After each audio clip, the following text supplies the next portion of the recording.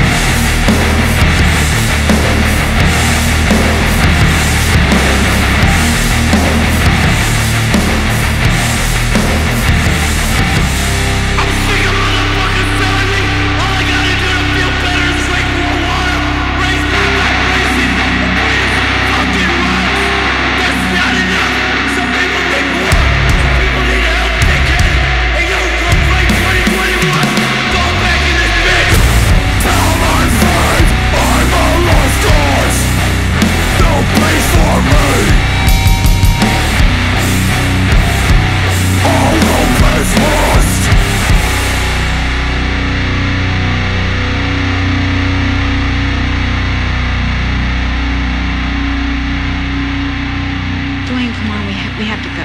I'm not going. Dwayne. I said I'm not. Okay, I don't care. I'm not getting on that bus again. Dwayne, for better or worse, we're your family. No, you're not my family. Okay, I don't want to be your family. I hate you fucking people.